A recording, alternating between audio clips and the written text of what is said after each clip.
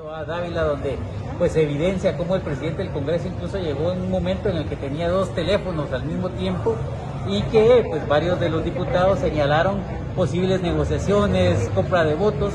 y nosotros creemos que ya es una situación en la que ya rebasó los límites, el Congreso de la República ya no es una entidad democrática, sino una entidad en la que se negocia y se comercializa con los votos y por eso mismo estamos el día de hoy presentando una denuncia penal en contra del presidente de la Junta Directiva del Congreso, Alan Rodríguez, por la posible comisión de los delitos de cohecho activo y abuso de autoridad, es decir, la forma de aprovecharse de su posición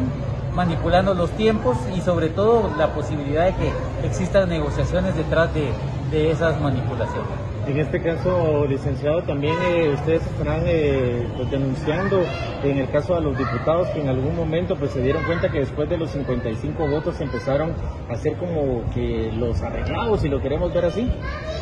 Sí, pues eh, se notó realmente el momento en el que el diputado Alan Rodríguez pues, se comunicaba por teléfono y pues en la pantalla parecía que subían los votos gradualmente. Yo creo que esa es parte de la investigación que tiene que hacer el Ministerio Público. Dejamos abierta, digamos, la denuncia ahorita a presentar en contra de, Alan Rodríguez, pero también abierta para los diputados que pusiera, posiblemente han sido